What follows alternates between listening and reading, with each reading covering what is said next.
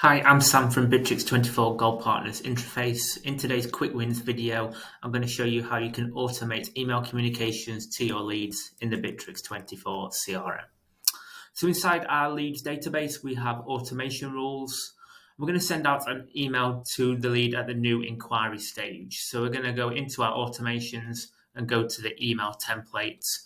This opens up the template designer. So we're going to run this automation immediately when the lead comes in and we can now start adding information to our email template.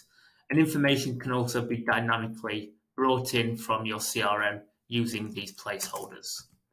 So once we have the email set up, we're going to save that inside the system. And we can bring leads into the CRM from a variety of channels using the contact center tools. So for example, we could feed a lead in from our website using a website form.